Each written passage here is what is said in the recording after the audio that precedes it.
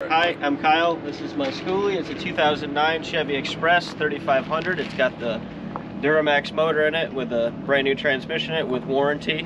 Over here we got all Victron set up behind with a 3000 watt inverter, three Battleborn batteries, uh, DC to DC charging. Let's see, turn the light on in here. Um, AC to DC distribution. Up top we got 800 watts of solar with uh, four different panels along with the rooftop deck. Right here we got the water fill for the onboard uh, fresh water. There's 30 gallons in there. Here's the shower attachment, exterior shower, um, exhaust for the diesel heater. For solar setup, we have a really nice setup in this bus. We got 800 watts of rich solar panels, very nice panels. Um, for the solar system setup under the bed, um, we have 300 amp hours of Battleborn lithium ion batteries with a 3000 watt Victron uh, inverter, uh, Victron DC to DC charging, Victron charge controller. We also have uh, uh, shore power to charge as well. Never have to worry about um, the batteries being charged. They're charged by 10 o'clock every day if you got good sun or if you're driving around at all. So never have to worry about solar in this, this setup. So there's three ways to that this solar system charges. Biggest upgrades to a bus, RV door, go away with the bus doors, so that's very nice. It's got screen door as well.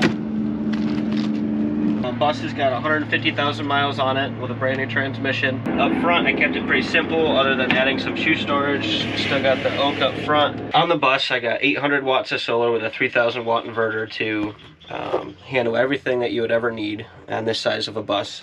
Got six outlets in the rig, one up front above the driver. It's got USB and micro USB charging as well. There's two um, outlets next to the counter, one outlet over the bed. Uh, also, the one over the bed is with USB and micro USB charging.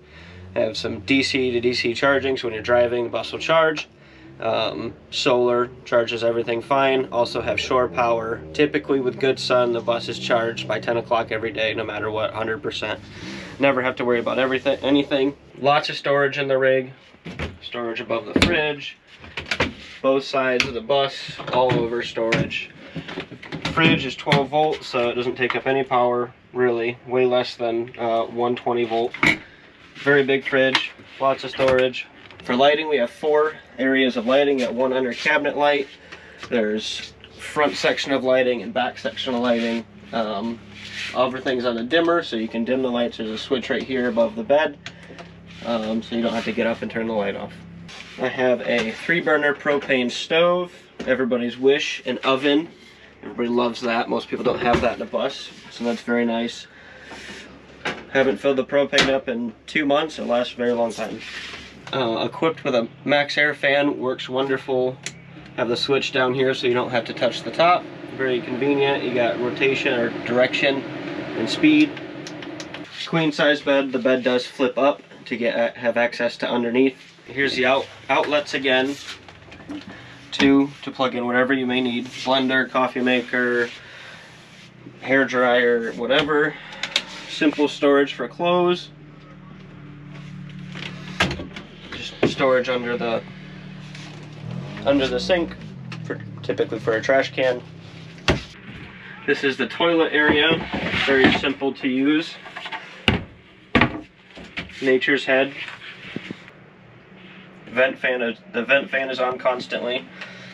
On this bus, I've blacked out or frosted the bottom parts of the windows, so the only windows that you can see through are the ones that aren't tinted. They're all tinted. Um, Got butcher block countertops that get conditioned once a month. And got walnut backsplash that everybody loves.